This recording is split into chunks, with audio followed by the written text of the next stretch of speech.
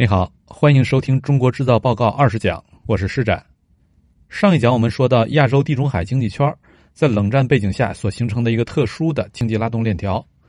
在里面台资企业起到了重要的连接作用，这是故事在宏观层面上的表现；而在微观层面上，台资企业还拉动出了一个特殊的人群——中国干部。这个人群国内很少有人听过。我在越南访谈的时候，第一次听福建商会的会长跟我提到这个群体，我也懵了。会长告诉我，越南当地的各种外资企业，只要他的工厂是从中国大陆迁移到越南的，在当地的中高管理层就都得用中国大陆人。当然了，里面最主要的还是台资企业，在这些企业里面，那些大陆来的管理层就被称作大陆干部，而这些人自称中国干部。那问题来了，为什么一定要用中国干部呢？中国干部在越南又做了些什么呢？他们和前面说到的供应链网络的扩张又有什么样的关系呢？这一讲就来说说这几个问题。呃，在采访越南的福建商会会长的时候，他告诉我，越南可能有几十万之多的中国干部，这个规模就让我大吃一惊。但更让我吃惊的还在后面呢。会长说，就以台资企业宝源鞋厂为例，他在台湾的母公司叫做宝成集团，这是世界上最大的鞋业的代工厂，耐克呀、阿迪达斯啊都是请他代工的。宝源鞋厂光是在胡志明市附近的这个厂区，就有将近十万名的越南工人，在巅峰时期，里面雇佣了大几千名的中国干部。这些中国干部在越南当地干了几年之后，人头地头都混熟了，很多人就会出来自己当老板开厂，做宝源鞋厂的供应商。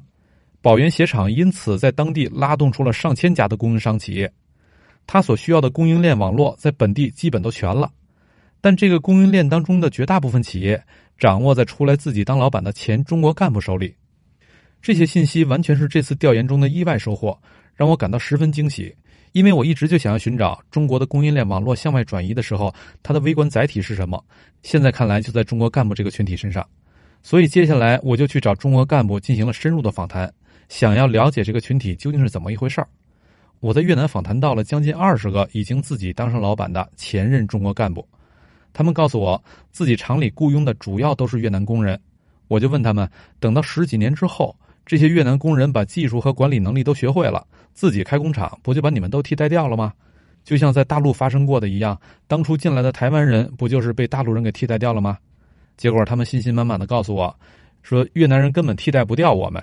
因为宝源鞋厂能从我们这儿采购，但是我们生产的时候也得采购啊，而我们要采购的那些原材料，越南本地根本没有。只能到中国大陆去采购，而要去中国大陆采购的话，越南人在渠道上怎么可能拼得过我们呢？我刚想要继续反驳，说等过个十几年，越南也能发展出那些原材料的生产，你们不还是没机会了吗？但是，一转念，我马上就想到，越南还没有，并且在可预见未来也发展不出自己的重化工业，那就没法生产那些原材料啊。所以，越南人确实很难替代掉这些中国干部开的工厂。台资转移到越南的制造业当中，不仅是制鞋业大量的依赖中国干部，各行各业基本上都是这样。说到这儿，可能你就明白中国干部这个群体的重要性了。我在前面一直在讲，中国制造业向越南的转移是供应链的溢出，这种溢出不是抽象存在的，它需要有具体的人群作为微观层面的载体，而中国干部就是这个至关重要的人群载体。他们把中国的供应链网络和越南的组装环节衔接了起来，也把越南的劳动力和世界市场衔接了起来。但问题是，为什么台资企业在越南一定得用中国干部呢？难道仅仅是因为便宜吗？今天大陆的人工成本已经不比台湾地区便宜太多了，可是仍然有大量的中国干部，这背后一定还有别的原因。在珠三角，我们访谈到了若干位曾经在宝成集团的大陆工厂和印尼工厂以及越南工厂都有过多年管理经验的中国干部，以宝成集团为案例，逐渐勾勒出了中国干部的成长历程。故事还是和宝成集团的发展有关。宝成集团一九六九年在台湾成立，到八十年代已经发展出了比较成体系、规范化的企业管理制度，这也是他能够拿到国际大品牌代工订单的前提。但当宝成在1988年到大陆设置了豫园工厂，1989年投产之后，很快就发现原本的管理制度不管用了，主要是因为三个问题：第一，豫园发展的速度非常之快，超出了之前人们的预期，企业的规模急速膨胀，原来的管理制度就管不了这么大规模的企业。这不仅仅是豫园所面临的问题，很多原本在台湾地区只有几十名工人的工厂，到台湾岛外布局之后，都发展成了有数百或者数千名工人的工厂，之前的管理模式肯定是不够用了。第二，由于各种历史原因，台湾和大陆在文化方面有一定的差异，在台湾行之有效的管理方式未必在大陆适用，必须进行相当程度的调试。但是豫园内部的台湾管理层并没有找到恰当的调试办法。第三，之所以找不到好的办法，某种程度上也跟从台湾地区派过来的人有关。当时大陆的条件相对艰苦一些，宝成总部很多人不愿意到大陆来工作，再加上迁到大陆的只是生产部门，其他核心部门还留在台湾岛内，结果呢，来到大陆的管理者就不是宝成内部的一线人才，只是二三线的人才。而当时豫园招到的大陆人是什么人呢？除了一线工人之外，还有我在第十讲说过的那一批被大材小用的大学毕业生。其中很多国内名校的毕业生，像什么中山大学、山东大学、清华大学的毕业生都有。这群人即便放在大陆这么大规模的人口当中，也属于一线人才。于是，大陆这批高材生在豫园就有了施展拳脚之地了。他们跟着台湾人学习了来自总部的管理制度，又根据大陆的具体情况，对这些制度做了一系列文化上的调试，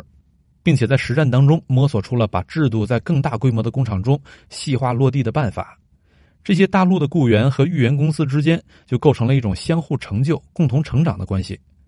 大陆雇员学到了技术和管理，宝成集团则在这个过程当中发展成为世界级的企业。除了这批做到管理层的高材生，还有更多的一线大陆工人也在这个过程当中逐渐成长起来，成为日后宝成集团非常倚重的技术专家。但这还只是中国干部故事的前半部分。随着台资企业的进一步成长。这批大陆的员工更体现出了意想不到的作用。对于宝成的上游品牌商，比如耐克、阿迪达斯来说，他们认为代工厂把超过一半的产能分布在同一个国家，风险太大，就要求代工厂要到其他国家也去开设工厂。宝成集团就在1991年到印尼去开设了新的工厂。一开始呢，宝成打算直接复制之前的成功经验，让台湾干部做高层管理，培训印尼干部作为中层和低层管理人员。之后就可以迅速上规模了，没想到啊，搞了整整两年，始终亏损，宝成集团就被迫从大陆调了一批大陆干部过来管理，不到半年就扭亏为盈了。为什么这些中国干部就有这种能力呢？最重要的是两重原因。首先，宝成之前在大陆的拓展之所以能够成功，是因为在大陆招募到了一大批大材小用的高素质人才，但是在印尼并没有这种人才红利可以收获。再加上台湾管理层不愿意学习当地的语言，跟印尼人沟通吃力，管理就更加跟不上了。第二，也是更重要的，台湾干部并不能把大陆干部在豫园发展出的管理细则给照搬到东南亚，直接交给印尼干部，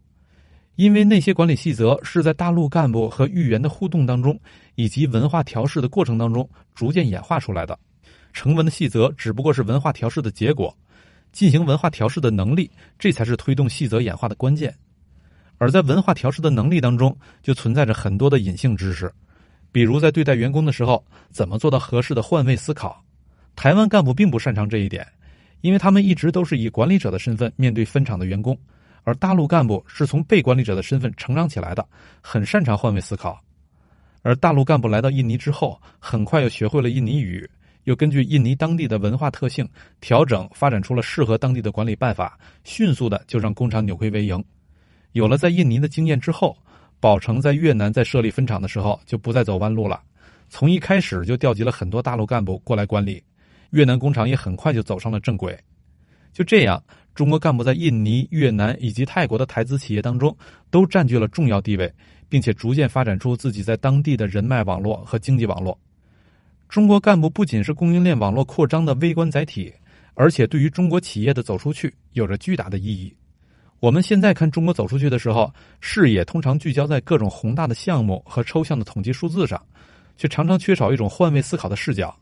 很少关注项目的接受方是如何理解问题、如何看待世界的。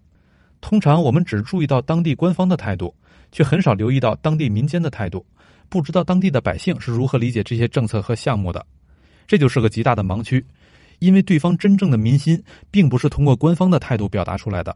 而就是在民间的直接感受当中的，要真正的理解和把握住对方民间的感受，需要有一系列本土化的知识。要知道什么是对方所真正需要的项目，以及要让他们能够真正有效的落地运作，更需要在执行过程当中有进行各种文化调试的能力和经验。中国在这方面的知识和经验有着巨大的欠缺，而中国干部以及各种各样在海外打拼的华人，每天都要面对与当地人的各种文化调试问题，在这方面有着丰富的经验和智慧，这些都应该成为中国走出去最重要的智力资源宝库。